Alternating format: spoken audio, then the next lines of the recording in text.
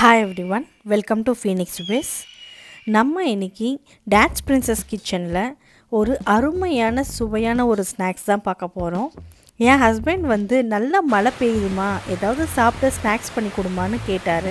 நானும் வீட்டில் என்ன இருக்குன்னு பார்த்தேன். ரெண்டு நாள் முன்னாடி வாங்கின ப்ரெட்டு தான் இருந்தது. சரி அதை வச்சு என்ன ஸ்நாக்ஸ் பண்ணலான்னு பார்க்கலாம் வாங்க. என்னோடய சேனலை ஃபஸ்ட் டைம் பார்க்குறவங்க சப்ஸ்கிரைப் பண்ணிக்கோங்க. பெல் ஐக்கோனை கிளிக் பண்ணி ஆல் கிளிக் பண்ணிக்கோங்க. அப்போ தான் என்னோடய அப்கமிங் வீடியோஸை மிஸ் பண்ணாமல் பார்க்க முடியும். முதல்ல நம்ம நம்மளோட பாக்கெட்ஸ்க்கு தேவையான ஸ்டஃப்ஸை ரெடி பண்ணிக்கலாம். ஒரு கிண்ணத்தில் பொடியாக கேப்சிகம்மை கட் பண்ணி ஆட் பண்ணிக்கலாம். நான் வந்து ரெண்டு பேருக்காக கொஞ்சமாக தான் எடுத்துக்கிட்டேன். ஒரு ஆஃப் கேப்சிகம் தான் எடுத்திருக்கேன். நீங்கள் உங்கள் வீட்டில் இருக்க ஆட்களுக்கு தேவையான மாதிரி நீங்கள் ஆட் பண்ணிக்கோங்க.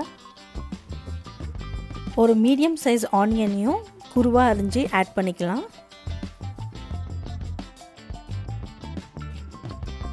கால் டேபிள் ஸ்பூன் சால்ட் உப்பு ஆட் பண்ணிக்கிறேன். நீங்கள் உங்களோட குவான்டிட்டிக்கு ஏற்ற மாதிரி ஆட் பண்ணிக்கோங்க. ஒரு table spoon chilli flakes add பண்ணிக்கிறேன். Half tablespoon pepper add பண்ணிக்கிறேன்.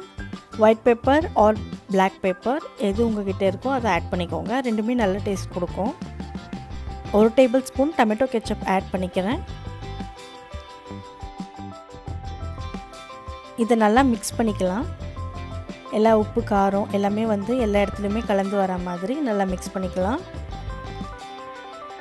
அடுத்தது பேஸ்ட் ரெடி பண்ணிக்கலாம். அதுக்காக நான் வந்து ஒரு டேபிள் ஸ்பூன் மைதா மாவு ஆட் பண்ணி வச்சுருக்கேன். இதில் தண்ணி ஆட் பண்ணி பேஸ்ட் மாதிரி ரெடி பண்ணி வச்சுக்கலாம். பேஸ்ட் ரெடி ஆகிடுச்சு இதை சைடில் எடுத்து வச்சிடலாம். நான் சின்ன சைஸ் ப்ரெட்ஸ் வந்து யூஸ் பண்ணுறேன் நீங்கள் வந்து பெரிய சைஸ் ப்ரெட்ஸ் வேணும்னா பெரிய சைஸ் எடுத்துக்கோங்க. இல்லைனா அதை ட்ரையாங்கிள் ஷேப்பில் இல்லை ரவுண்ட் ஷேப்பில் கட் பண்ணிவிட்டு உங்களுக்கு எந்த ஷேப் பிடிச்சிருக்கோ அந்த ஷேப்பில் வந்து யூஸ் பண்ணிக்கோங்க. நம்ம செஞ்சு வச்ச ஸ்டஃப்ஸை வந்து ப்ரெட்டில் வந்து ஆட் பண்ணிக்கலாம்.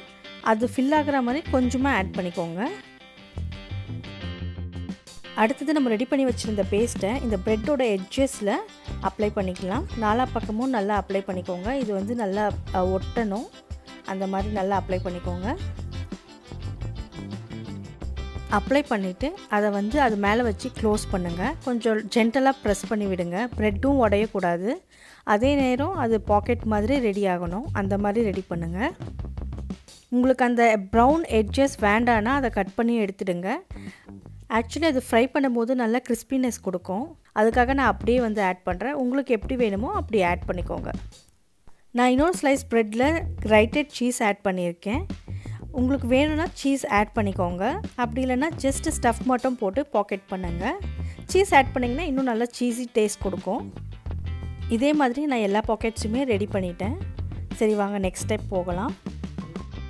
ரெடி பண்ணி வச்சுருந்த பாக்கெட்டை பேஸ்ட்டில் டிப் பண்ணி எடுத்துகிட்டு ப்ரெட் க்ரம்ஸில் போட்டு அதை நல்லா எல்லா பக்கமும் அந்த ப்ரெட் க்ரம்ஸ் வந்து ஸ்ப்ரெட் ஆகிற மாதிரி நல்லா டிப் பண்ணி எடுத்துக்கலாம். ப்ரெட் பாக்கெட்ஸ் ஃப்ரை பண்ணுறதுக்கு ரெடியாக இருக்குது ஒரு பேனில் ஆயில் ஆட் பண்ணிக்கலாம். ஷாலோ ஃப்ரை பண்ணுற மாதிரி ஆயில் ஆட் பண்ணிக்கலாம். எண்ணெய் சூடானதும் ஒரு ஒரு பாக்கெட்டாக அதுக்குள்ளே ப்ளேஸ் பண்ணலாம். லோ ஃப்ளேமில் நல்லா டீப் ஃப்ரை பண்ணிக்கலாம். அதே மாதிரி திருப்பி போட்டு நல்லா ஃப்ரை ஆகிற வரைக்கும் வெயிட் பண்ணலாம். பட் ஸ்டவ் வந்து மீடியம் ஃப்ளேம் இல்லைனா லோ ஃப்ளேம்லேயே வச்சுக்கோங்க. கொஞ்சம் டைம் எடுக்கும் பட் நல்லா கிறிஸ்பியாகவும் நல்லா டேஸ்டான ஸ்நாக்ஸ் நமக்கு கிடைக்கும். ரெண்டு பக்கமும் நல்லா ஃப்ரை ஆகிருக்கு இதை பிளேட்டுக்கு மாற்றிக்கலாம் bread stuffed pockets ready to serve நீங்களும் இது உங்கள் வீட்டில் ட்ரை பண்ணி பாருங்கள் ட்ரை பண்ணி பார்த்து உங்களோட ஃபேமிலி மெம்பர்ஸ்க்கு கொடுங்க. டேஸ்ட் எப்படி இருக்குன்னு சொல்லிவிட்டு கமெண்ட் பண்ணுங்கள் உங்களோட நேரத்தை எனக்கு கொடுத்ததுக்காக நன்றி. உங்கள் பிரியா ராமலிங்கம்.